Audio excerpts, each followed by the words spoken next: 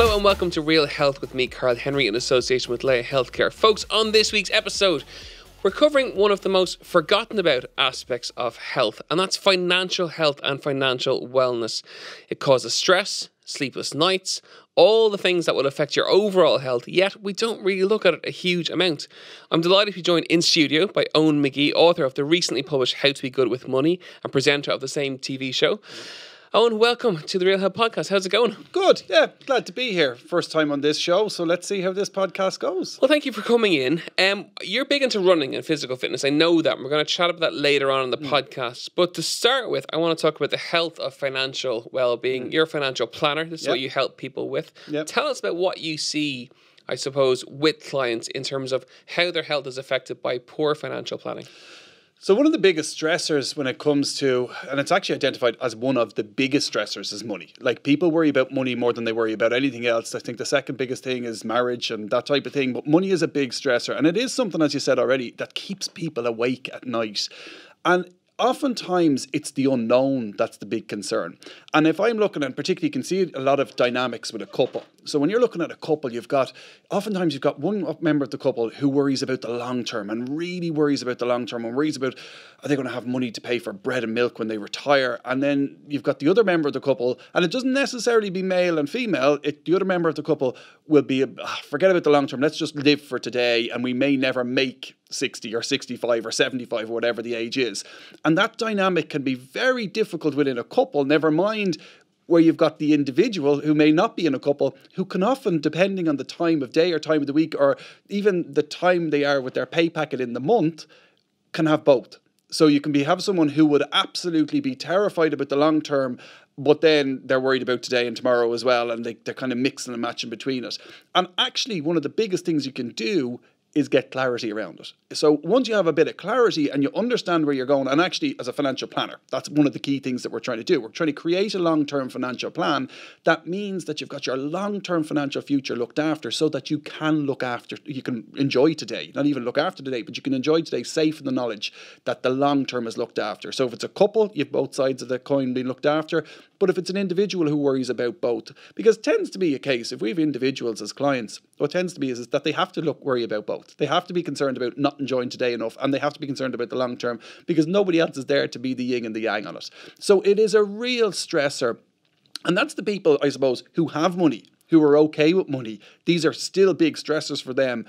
But then you've got the people who don't have the money and they're just worried about the day to day. How am I going to get to the end of the week, to the end of the month, whatever the case is, and their money's not stretching as long. Like there's there's a lot of month left at the end of the pay packet, and they're really struggling with that. And that can be a real stress. And sometimes again, if you bring back to the couple dynamic, if one person is carrying all that weight, it can be a real stress on the relationship. It can be a real stress, and I'm taking all this responsibility here. You need to take some of the responsibility. And oftentimes, when you when you engage with a, a couple like that, what you'll find is is one of them has actually stuck their head in their sands. Oh, he looks after that, or she looks after that, and it's nothing to do with me, but it is, and you need to bring it back on the table. But all of this stuff is much much better when you've got clarity around it. All of this stuff is much, much better when you communicate about it. And it's the communication and lack of clarity that causes all of these problems. And most things actually can be fixed. Most things. Sometimes you're just in an awful position, but even when you're in an awful position, there's still ways of fixing it. So no matter how bad it may seem, Yep. there are ways around it. Yep. And the other thing just to think about is, is it's not even how bad it might seem. Don't think that like keeping up with the Joneses is a big problem when it comes to money, right? Don't think just because someone has a nice new car, the house looks lovely, that they don't have just as much stress on their shoulders as as you do if you don't have the big car and the nice house and the big salary. There's a thing called Parkinson's law, right? And what Parkinson's law says is if you have an hour to cut the grass, it takes an hour. If you have three hours to cut the grass, it takes three hours. If you make 20 grand a year, you spend 20. If you make 200 grand a year, you spend 200. And I have, and actually I mentioned in the book, I, I have one client at one stage who lost a significant amount of salary. Like they had a, they're really high earners, they were making a lot of money, and the household income dropped by about 200,000 euros. They still had about 300,000 euros coming into the house, but they were suffering just as much as someone who had gone from 80 down to 50 grand a year. Like it was a massive, massive impact because their lifestyle has expanded to fill that salary. They have extra things in their life that maybe bigger mortgages, bigger other things, and that stress is just as real. It's harder to feel sorry for them, don't get me wrong, but it still is a real stressor. And it's something that people really do need to just tackle head on and say, okay, how bad is this actually? And what can I do to fix it? And there is a realization, I've seen that actually, particularly during the really bad times when people were struggling to pay the mortgage on a month to month basis and they were engaging with the bank. And there is that point where you're you're doing everything you can and you're trying to protect your credit rating and you're really trying to stay on top of things. And there's that real breaking point, and I've seen people go through it just at the point where the realization hits you that I just can't do no more about this. And I'm going to do whatever I can and I'm going to do my best, but I'm stopping worrying about it. Now, I've watched clients and there's that point just before that, that real, I suppose, bottom of the barrel point where I'd be very worried about clients and clients' mental health at that stage. And it's a bit of a relief for me in those really dark, difficult days when I see them come back and say, you know what, I've done everything I can. I can do no more about this. I, uh, kind of affect them like I'm going to do everything I can and all I can do is my best because the other option is, is that they keep extending the stress extending the stress they keep sticking their head in the sand and the problem doesn't go away you have to face it head on and you have to get clarity around what your options are when things are really bad but the flip side of that is, is when things are really good, you have to get clarity around what the long term looks like as well. So it doesn't matter. And I think that's probably my long winded way of saying money is relative. How much you earn how much how big your problems are relative to you and it doesn't matter how big a salary or how low a salary or how much assets you have or how little assets you have your problems are your problems and they're 100% your problems. And therefore it, it can be good to learn from other people but your problems are the ones that you need to tackle for yourself. And this is it's an interesting dynamic to get to because when we talk about Irish people and talking about money, we don't really talk about it. And really, we don't. Like if if you go to the states and you go to a dinner party or whatever it is that you're doing, if you're sitting in the states, people will talk about the the investment that went really well for them or things that went. Right. Ireland, we don't talk about it. Like back in the recession, uh, like when things were really bad after the global financial crisis, it was kind of cool to be broke, and everyone was willing to talk about being broke. And then there was a period where it was like, oh, I'm actually doing all right, and I'm not going to tell anyone I'm doing all right.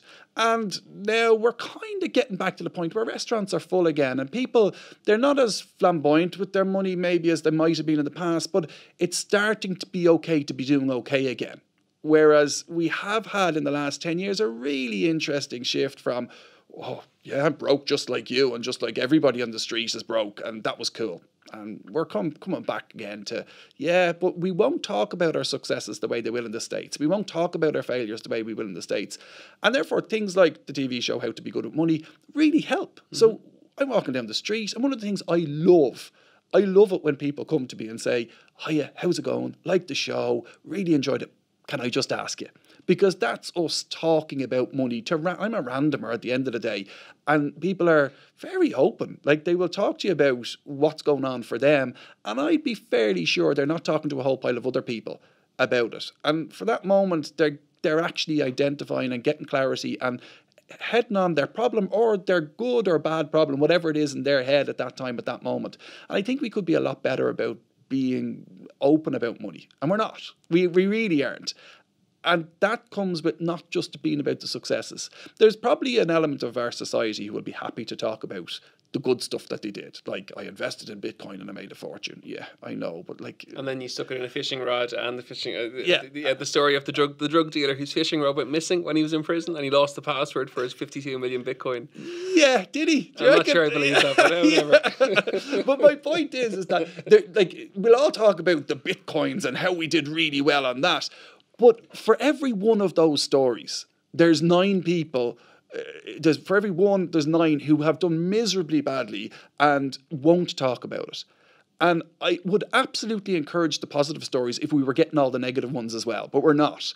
And I think in the States, they're actually a little bit better about mm-hmm. that. There, uh, uh, and let's not try and be like the states, but I think there's something to be learned from that in terms of you fail in business over there, and it's yeah, that's kind of a not a badge of honor, but you know what, you failed the last time, so that means you'll learn better and you'll do better the next time. We don't really have that here, even when we do well here when it comes to making money and generating income, doing that. There's still a little bit of ah, sure, he doesn't deserve it, or there's a little bit of begrudgery there. And you know what? Maybe we're getting more mature. Maybe we're getting better about it. But a lot of these things still do centre back to money, and it comes back to our relationship with money. Some people probably don't feel we deserve it, and if we're doing well, we feel a bit guilty about it. And then some people feel very ashamed because they don't have any of it. And if we were just all a bit more open, a lot of these problems would absolutely disappear, totally disappear.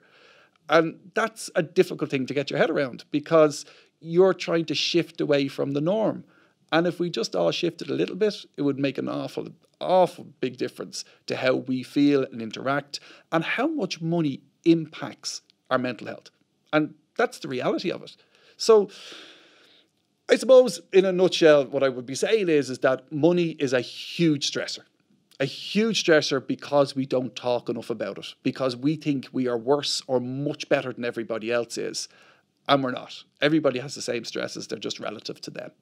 And to start to improve that, whether you've got a good bank balance or a bad bank balance, presumably it starts the same. And I know from watching on the TV show and having a look through the book, there's four key, I suppose, kind of pillars that you, you base everything on. And the first of which is day to day expenses mm. and the basics. Yeah. Tell yeah. us a bit more about that. So day to day expenses, one of the things I that people would say to me, if there was one thing I could change about my finances, if I could just do one thing to make everything better, what would it be? That would be become more conscious. And what I mean by that is, and there's a little challenge I would often give people. So I do a lot of corporate speaking, and I do actually was in uh, transition year students this morning. And the challenge that you'd often throw out there is, is for the next week, every time you spend money, take out your phone, take out the note section, and write down, I don't know, like six euro sandwich, whatever it is, right? You write it down. I'm not asking you to change your habits at all. I'm just asking you every single time you spend, write it down. And then a week from now, take out your phone and look at where you spent your money. And what you will find from that is, is that if you were to plan your spending next week, you wouldn't plan it the way you spent it last week and you'll be surprised by certain things. And one of the things that financial planners or advisors often go after on this is oh the coffees, and if you if you buy a coffee a day, that's four thousand of income. If you like coffee, spend it on coffee, but do it consciously. Be aware of where your money is going. There are teams and teams and billions of euros spent by marketing departments, and their sole purpose is to get your money out of your pocket, mostly subconsciously. So write down for a week where you've spent your money. And at the end of the week, look at that and say, if I was planning my spending next week, is that the way I'd spend? What would I change? What would be different? And you will start to realize that there's stuff that you're just wasting money on. That I don't have a problem with anybody wasting their hard earned money that they go to work to earn, provided they're spending on stuff that's important to them. But when you do that exercise, what you find is, is you're looking at the phone and you're going, you know what? that actually isn't something that's of any importance to me. It's of no relevance to my life. It doesn't add anything to my life. You know, maybe the first coffee or the second coffee of the day adds a huge amount to your life, but I'm not sure the seventh or eighth or ninth one. That's subconsciously spending, that's habit. And for most people, they don't get anything out of it. But I'm not saying that the coffee is the thing you go after. I'm saying that you make decisions based on the way you want to spend your money. And once you start to become conscious on the little things, the bigger things start to become much more conscious as well.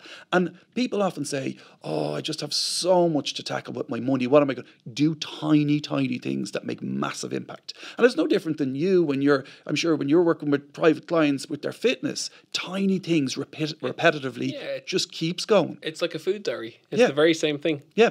And it actually that's a much better example than their fitness thing. The food diary alone is no different than a budget. Budget is another word when the day-to-day spending. I hate the word budget because budget means you're setting yourself up for failure. What most people do when they set a budget is, is they say, This is the money I'm going to have coming in, and this is the money I'm going to spend. And guess what happens then? Life life happens and something like the car breaks down or the washing machine goes or whatever and all of a sudden your budget's out the window and you're going okay, so I'm a failure.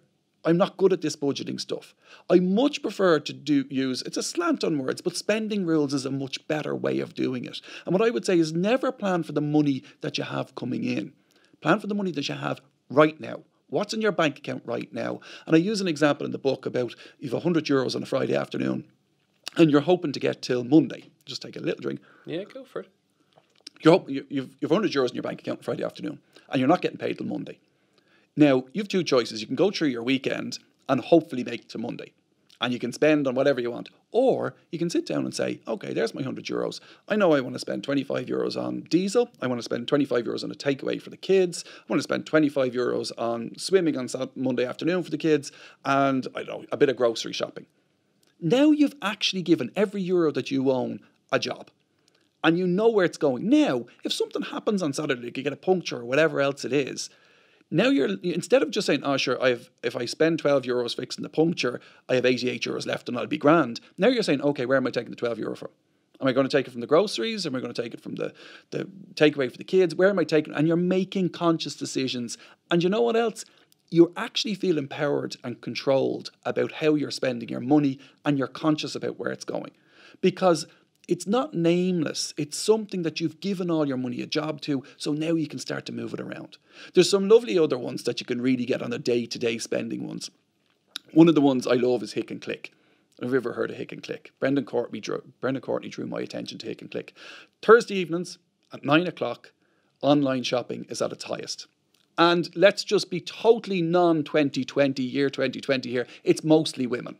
So they have a little glass of wine, they go hick and click. right?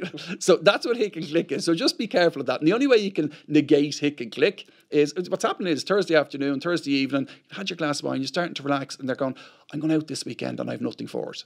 And it'll be delivered tomorrow if I order it now. So nine o'clock on a Thursday is shown to be hick and click time. Interestingly, one of the key ways you can stop subconsciously spending or letting the marketing department win is don't save your credit card details, your debit card details on your favorite website. I remember I was giving a presentation to a group of women actually. I was talking about click and click and don't save your credit card details. And, and one of them says, Oh, no, I don't save my credit card. There's only a couple of sites I save it on. And I said, What sites are they? Oh, just my favourite ones. right? That, that's kind of against the that's defeating the purpose. Don't save your credit card details to your particularly your favourite sites. Put that little barrier. Make yourself get up off the couch and walk over to your wallet and take your money out. If you know the, your credit card details off the top of your head, it's time to change the credit card right? So just be careful about how easy you make it for yourself. We had someone on a TV show, um, Brendan Courtney and I did a show before How to Be Good at Money called This Crowded House, and we had a girl on that who was big into her online shopping, really enjoyed her online shopping, but also did a lot of in-house shopping, walking into a shop and buying the stuff. And I know it's anecdotal, but this was an interesting because this I would call this girl a professional shopper. Like she had lots of stuff with still had tags on it, right? And it was quite anecdotal, but what she what I found was is there was one shop she really loved, and she shopped online with it, and she shopped in store. When she shopped online, she spent three times as much as she did when she did in store. Think about it. You walk into a shop. You walk. You, first of all, you have to get there, and you're thinking, "Can I? Will I? Can I? Will I? Do I want to?" Then you walk in. You pick up the item. Yeah, can I? Will I? Do I want it? Then you're kind of feeling the material. Do I really want it? Then you're going in, maybe trying it on. Then, then you're standing in the queue.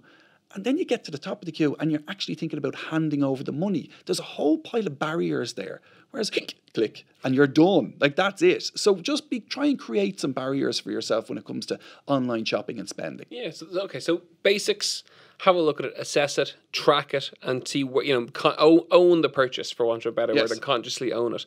Second step then is borrowings and and and things that you owe. Yeah, so we call it happy debt and crappy debt, right? So happy debt is mortgages. Look, eh, look, it's difficult to buy a house if you can get yourself a mortgage and get your deposit together. It's unlikely that you're going to get through life without a mortgage. If you're going to buy a house, get do it without a mortgage, right? Unless you're getting serious help from somewhere. So mortgages, that's happy debt. That's fine. It's the cheapest debt. The really easy way of measuring a, a loan and how expensive it's going to be, the easier it is to get, the higher the expense rate is going to be, the, the APR is going to be, in simple terms. Um, so a mortgage is hard to get. It's going to be the cheapest mortgage, cheapest interest rate you're going to pay. Um, then you start moving on to crappy debt. And crappy debt is one of those words that I always kind of cringe when I say, but I'm, you know what, that describes it. I want people to cringe when they think about personal loans and car loans and credit cards. And, and you know what else? Online shopping, the type of hick and click stuff that you do, that is some of the most expensive shopping you can do from an interest rate point of view. Sometimes it's up at 40, 45% interest. Now, credit cards are around 20 typically. Um, so then you start to come down to personal loans might be down. Overdrafts are usually around 15. Then you're down to personal loans at 8 and 10%. And then you're right the way down to mortgages, hopefully 2, 3, and 4%. So the really easy stuff to get, you're going to get. What you find is, is when people are on that kind of debt treadmill where they've lots of car loans, lots of personal loans, all of that, they really do get caught up. And it's so easy to get more and more of that debt that you can very quickly get caught up in it. I was talking to students this morning, actually. I was, I was in a, a secondary school. I was talking to TY students this morning.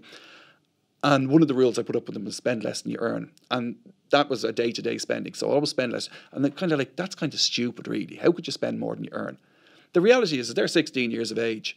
If I brought that group, there was over 100 students in the room, around 100 students in the room. If I brought that group together in 10 years' time, I'd probably fairly fairly accurate when I'd say about 80% of them will have car loans, personal loans, credit cards, maybe a holiday loan. They'll have some source of debt.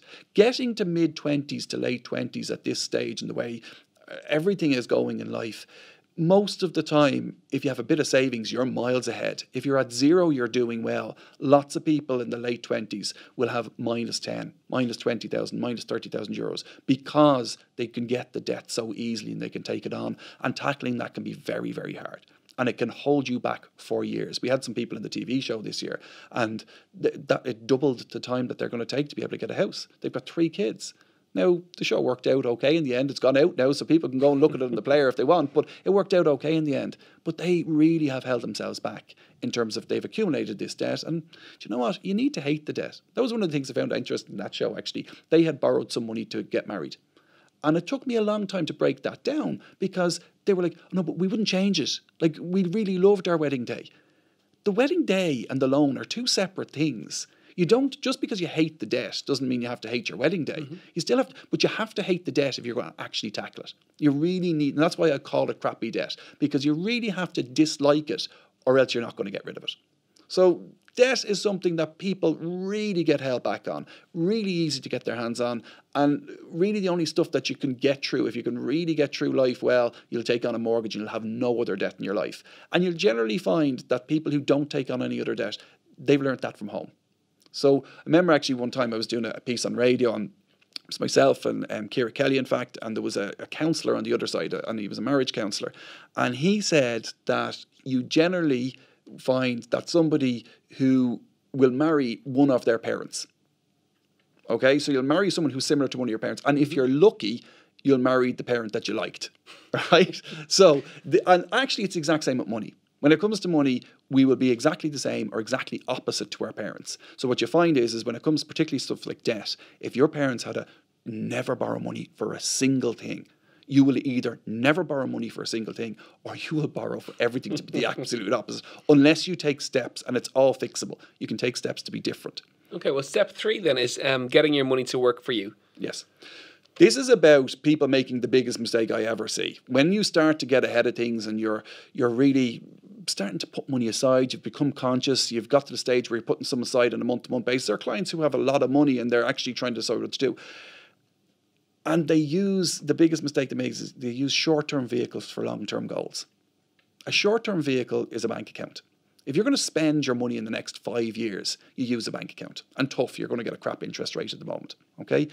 But a long term goal should use a long term vehicle. The perfect example of that is child benefit most if people can afford to save the child benefit, what they will do is is that they will put it aside. They might put it on Post or credit union or a bank account. That's a short-term vehicle. That money is not going to beat inflation. And you will lose out financially over the 18-year time period if you're if you're lucky enough to be able to put the money away for that long. Okay, so when you're looking at that, you're looking at the, the, we actually had the, we had the numbers in this. So if you manage to get 1% interest on the child benefit, it'll have 33,000 euros in it at the end of 18 years. That will not get you through three years of college.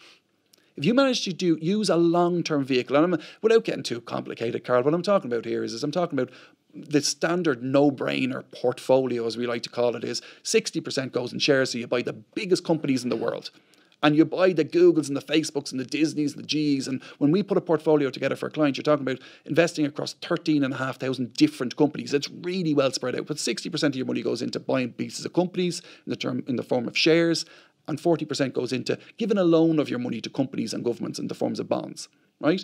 And when you're investing, when you're putting money away for more than five years, the starting point needs to be 60 40 no brainer portfolios, I'd call it. Okay? If you got 1% per annum in your bank account, if you manage to get 1%, you'll have 33,000 if you save the child benefit for 18 years. If you manage to get 4% interest on a 60 40 portfolio, you would have 44,000. Now you're starting to hit four years in college. Okay. In the last 18 years, which is a good mixed bag of up and down and all over the place, really, you would have got 48,000 out of a standard one of these. Now, all of those figures ignore tax, but that doesn't matter. The point is still the same. You will not beat inflation using a bank account. A bank account is a short term vehicle. Don't use it for long term goals. And that's the biggest mistake people make. Then people say to you, but hold on a second, that, there's huge risk involved there. I can't, I can't, that, that's just too risky and shares and portfolios, and I don't know what I'm talking about. The reality is, if you go and look for a 60 40 portfolio for your banker, your financial advisor, and they set it up right, there has, in, in the year's time, there's a 25% chance it's going to be down. So what? You don't need it in a year's time. You're not using this for a year's time. In three years' time, there's a 15% chance it's going to be down. In five years' time, there's a 0.4% chance it's going to be down. So there's a 99.6% chance that you're going to have a positive return over any five year period in the past if you use a 60 40 portfolio. We're talking about five years plus. There has never been a seven year or more period where a 60 40 portfolio would have lost money for you. Now you're talking about 18 years for a child's education if you're if you're lucky enough to be able to put that money away. Now take that and apply that to someone in their 20s or 30s or 40s or even 50s who's thinking about putting money away for pension. You don't put that into a bank account. You put it into something that's going to beat inflation and you're going to use it over the long term. That's what section three of the book is all about. It's all about making sure that your money is working for you. We also talk about in there about the pensions and how the pensions work because you know what? It's not that complicated it's it, like everyone remembers, a lot of people, depending on the age you, will remember the SSIAs. Mm-hmm. SSIA was they gave you one euro for every four euro you put in. So that's two euro for every eight. A pension, if you're on the higher rate of tax, will give you four euros for every six euro you put in. So it's a it's a massive boost to your thing, and it grows tax free and so on and so forth. But it's really simple. It's really straightforward. It's made overly complicated to keep pensions people like me in a job. That's what it's there for. But it's simple finally protecting it all. Yeah. So there's no point in building a financial plan that gets you to 100 years of age, as we would plan for, and then someone dies or somebody gets sick. You need to make sure that you're okay financially, that you, if somebody dies, what's going to happen? Um, there's a there's a video online on YouTube called "Why Me Da Isn't Dead." It's a video with me and my dad, and we got about sixty thousand hits. Actually, when you go into transition year students, it's the thing that they're most impressed by. But um, he had got income protection from the age of 50 years of age. And he gave up work because he has a bad heart. And because of that, he, um, I, I, it's probably why, it's not probably, it is a big reason why I'm in the industry. It, because I've seen the impact of having good protection in place. So the last section talks about what if somebody dies, what covers are, uh, is available, and what if somebody gets sick. Oh, yeah. Yeah. Cool. Um, now, tell us about the book. Uh, I had planned to ask you all about your marathons and your running and all of that lovely stuff, but to be honest with I you, I kept talking, didn't I? and it's when we bring a true expert into the studio, and we have been going for nearly 100 episodes now. I've talked to a lot of people. The difference between someone who is a true expert in their field is when you open them up and let them go, they go and they talk and they fill time. And I, I actually talk very little, and it's fantastic. so I learn loads myself, which is brilliant. Um, we will bring you back into studio again, without a doubt. You're engaging to listen to, and your your passion for what you do is fantastic. Mm. Tell us about the book. Uh, when is it out, and where can people get it? So it's out on the twentieth of March. It's going to be all all bookstores. Um, we are. It'll be out the twentieth of March, but if you actually start looking around from that the earlier on that week, it should be in stores that week. So you'll be able to pick it up. It's at a good price point for someone who's looking to be good with money, so it should be okay. We're hoping it's going to be very successful. It's my first book. It was a big task. I'm really proud of it. I'm genuinely very proud of it. A lot went into it, and I didn't hold anything back. And that, I think, hopefully, the really what I'm hoping here is uh, my private practice is can deal with so many people. That's all it can deal with. Mm-hmm. And the idea of this is that I just like financial people are much better served with good financial planning than without it. And what I'm hoping this book will do is, is that anybody who picks it up, doesn't matter what walk of life you're in, that you're going to get something from it. And you're going to walk away much better informed at the very least to be able to tackle your finances and to be able to get the most out of them, not just tackle them, but get the most out of them. And that's really what I'm hoping for the book. So it's out on the 20th of March officially, but you'll get it probably the week before that in the bookstores. And um, really looking forward to see how it goes. Well, congratulations on the book. Thank, Thank you, you, so much for joining us. And we will definitely, definitely have you back in studio in the near future. No doubt about it whatsoever. Oh, McGee, thank you so much for joining us on the Real Health podcast. Laya Healthcare, looking after you always. Proud sponsors of Real Health with Karl Henry.